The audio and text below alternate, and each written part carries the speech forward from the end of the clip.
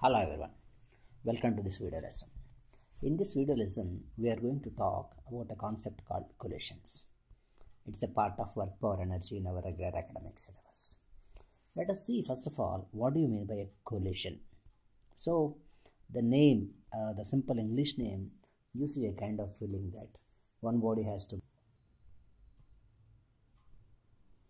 If it hits some another body, we can probably assume something like collision is happened. That the first body is traveling it's going to hit some another body then we could say probably the collision is happened. So we can say collision is a kind of a a simple kind of a meaning like it's a physical interaction between the bodies which is not actually true for the bodies said to be having a collision, at least as per science, they need not have a physical interaction. Now, what happens when the bodies collide with each other is say initially that the bodies are moving with some different velocities u1 and u2. Let's assume something like u1 is greater than u2. Therefore, first body will come and collide. Then what happens is the diagram what I have drawn here is before collision what happens after the collision is still the body's masses remains constant same. Now the bodies will be traveling probably with different velocities.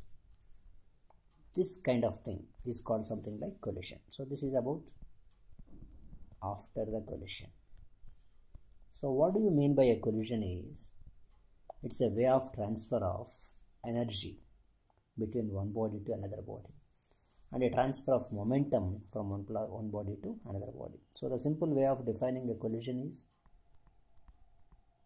transfer of momentum.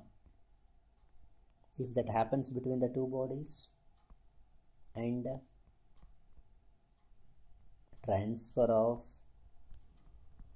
kinetic energy if that happens between the bodies then collision is said to be done.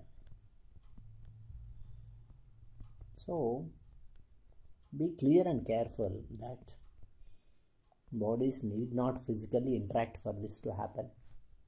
Probably you may do remember the famous Rutherford alpha scattering experiment.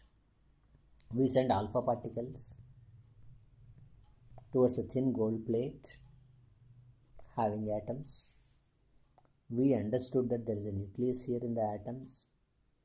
When we send so many alpha particles, we understand that very few will come back. They're actually going very close to the nucleus, but you know, they're not hitting the nucleus. They're coming back even before hitting the nucleus. Some other alpha particles will get distracted like this. You know that because alpha particle is having a positive charge, nucleus is also having a positive charge between the similar charges because of the protons. There is a repulsion you know similar charges repel each other. Therefore even before alpha particle go and strike the nucleus that repulsion will push alpha this particle away or direct them or deviate them when the particle goes to the close of the nucleus. Of course that nucleus size will be very small. Therefore many of the alpha particles goes undeviated. You know that. Very few will be getting deflected because they are going too close to the nucleus which has confirmed to us that the size of the nucleus is much smaller than that of the atom. But coming back to the collisions point what i would like to tell you is here i would like to say this alpha particle has collided with this nucleus. But have you noticed that there is no physical interaction here alpha particle has not striken the nucleus physically. But still there is a transfer of momentum kinetic energy path of the alpha particle is diverted velocity got changed kinetic energy got changed momentum changed then the collision is said to happen. Therefore the very important definition of a collision that we need to know is if there is a transfer of momentum and kinetic energy among the bodies, then collision is said to be happened. There may be a physical interaction, and there may not be a physical interaction. That's how we have to define the collision. Then when you come to that point, you can understand that in many of the collisions, when one body hits the other body, a kind of a sound can come, a kind of a spark can come like light. Bodies also becomes hot. So these are all nothing but the forms of energies. So from where these energies are coming? Actually, a part of the kinetic energy of the colliding bodies is transferred to a part of a sound, light or heat or all of them together. So here the kinetic energy is not conserved. Some of the kinetic energies are converted into some other parts. So I, would like to say in this case initial kinetic energy of the system is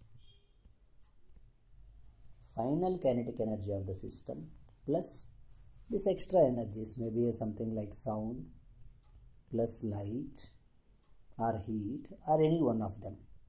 It simply tells you that uh, kinetic energy finally is less than the kinetic energy initial.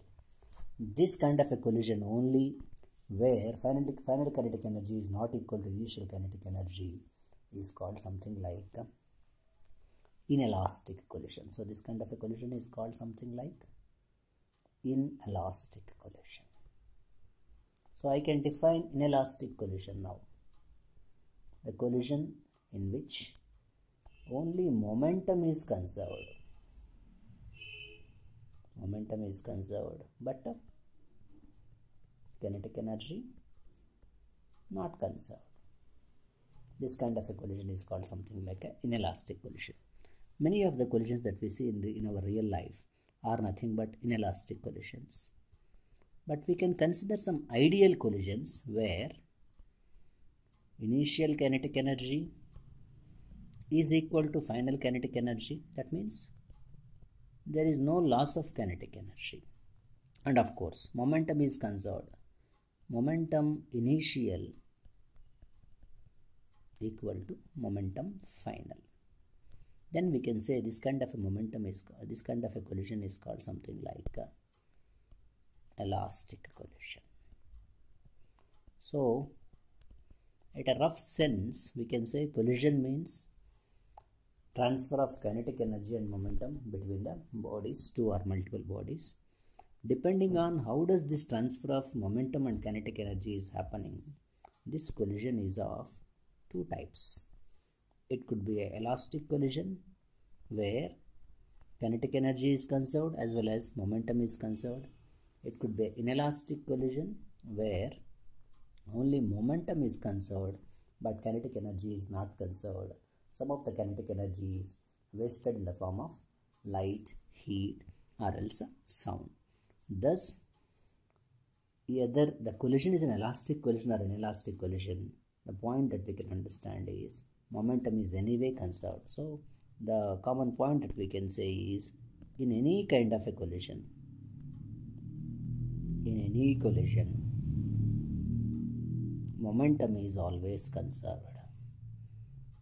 Momentum is momentum is mathematically the product of the mass and the velocity is always conserved. That means momentum initial of the system equal to momentum final. Momentum is shown with a term P which is nothing but the product of mass and velocity. So here I will stop being just an introductory class of the collisions. Let's come back to the next lesson and see what do you mean by elastic and inelastic collisions and how do we explain them. Thank you for watching. Keep coming back for more and more video lessons. Thank you.